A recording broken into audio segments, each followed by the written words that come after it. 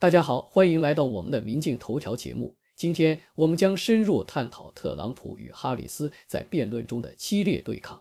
在这场首次交手中，哈里斯如同一匹黑马，勇敢面对特朗普，并用锋利的言辞刺破了他的防线。虽然双方在辩论一开始显得僵硬，但随着话题的深入，气氛变得紧张而火爆。尤其是当哈里斯提到特朗普的集会人群规模时，瞬间引发了辩论的高潮。在这场辩论中，哈里斯不仅强调了他作为中产阶级的背景，还提出了他的机会经济计划，反击特朗普的经济政策。而特朗普则不甘示弱，承诺重返白宫后会把经济作为首要任务，并大幅减税。此外，堕胎问题成为了焦点。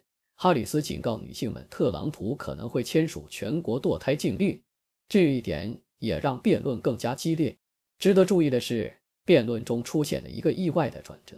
特朗普提到的关于吃狗的阴谋论，让哈里斯忍不住笑了出来。这一幕令在场观众啼笑皆非。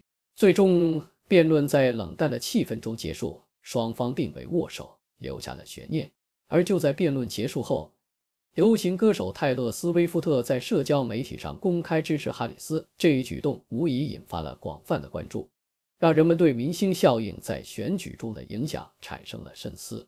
请大家继续收看详细内容。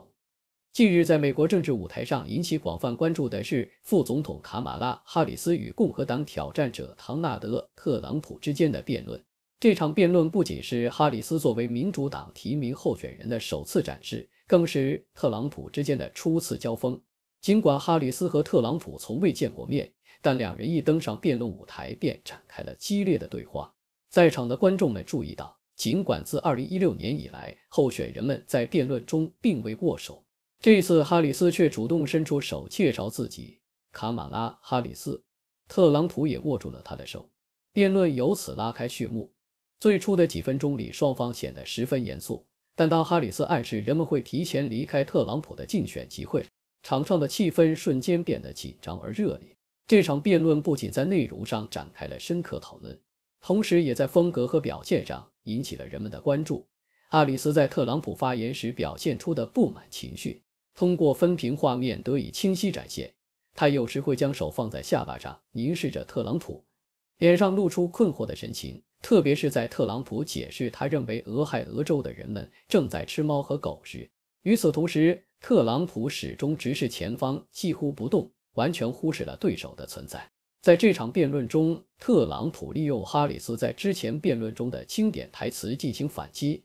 当哈里斯在他发言时插话时，他冷静地说道：“我在说话，请你稍等一下。”这句话显然是对哈里斯在2020年辩论中对前副总统麦克彭斯的回击的致敬。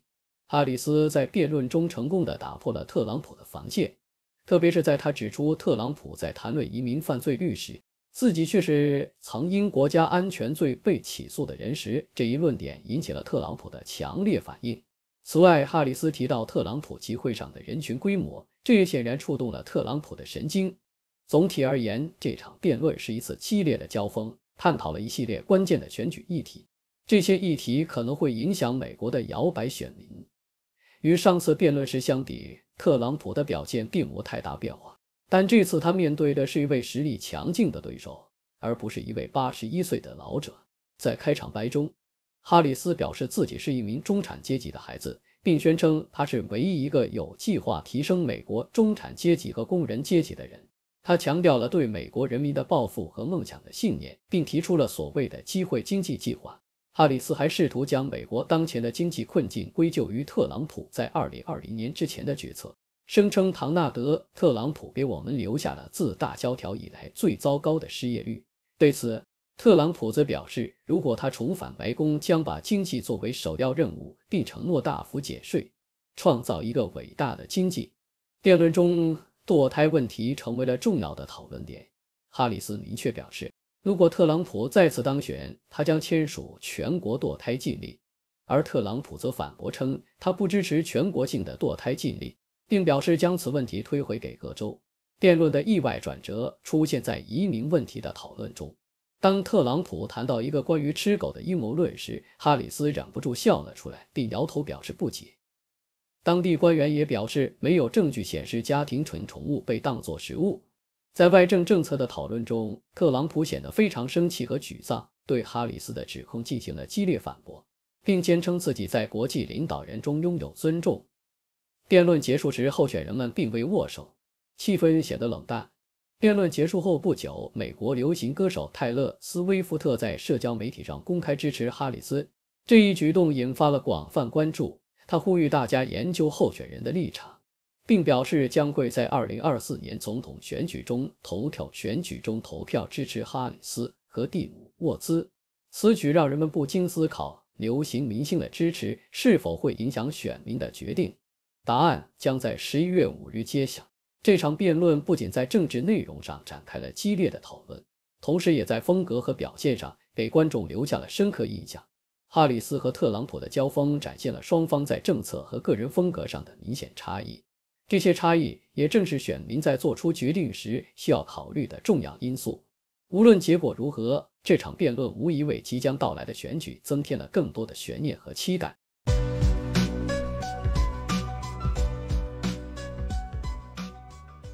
欢迎大家进入六度探索的辩论环节，我们从正反两个角度对本节目进行辩论，请出我们的辩论高手楚天舒、谢琪琪。我是楚天舒，我是谢琪琪。特朗普和哈里斯的辩论真是有趣极了。哈里斯那句“卡马拉·哈里斯自我介绍”就像是打开了一个新世界的大门，而且你知道吗？他那种自信真让人佩服。毕竟第一次面对特朗普这种大炮也能保持镇定。再说特朗普那句“我在说话，请你稍等一下”，真是让人捧腹大笑。这位总统真是有自己的幽默感。楚天舒，你可真是个乐观派。哈里斯那句自我介绍听起来确实很自信，可你没发现他后来在辩论中显得有些僵硬吗？而且特朗普那句“我在说话，请你稍等一下”根本不是幽默，是在卖弄老梗。这废话也就只能骗骗他自己的粉丝。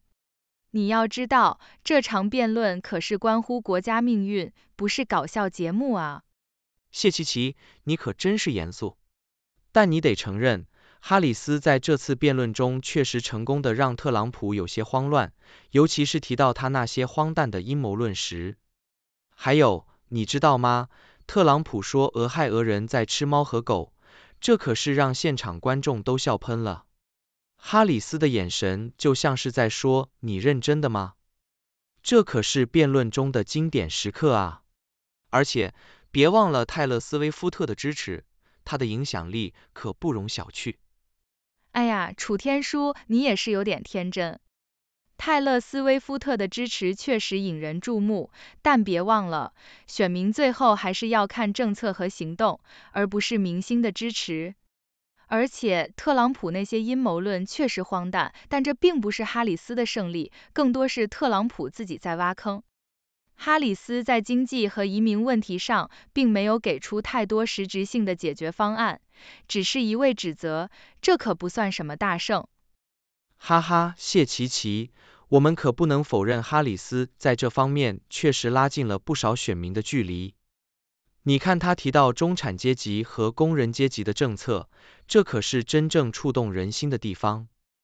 至于特朗普，他的减税承诺听起来不错，但我们都知道，他的减税政策最后只会让富人更富，普通人并没有太多实惠。哈里斯这次确实戳到了特朗普的痛点。让他在辩论中频频失态。楚天舒，你这话听起来确实有道理，但别忘了，辩论不仅仅是演讲比赛，更是对政策的考量。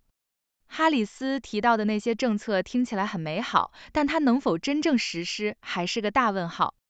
至于特朗普，他的经济政策可能有争议，但至少他有一个明确的方向。而哈里斯在辩论中更多是情绪化的表现，并没有提供足够的细节来说服那些摇摆不定的选民。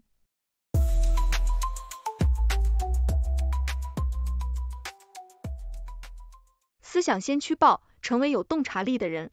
华尔街电视特别节目，纽约时间每天早上八点，李奇博士主持。和平评点。谢谢大家收看六度探索。这是一个由科学家、经济学家、媒体人、工程技术人员合作建立的新型媒体。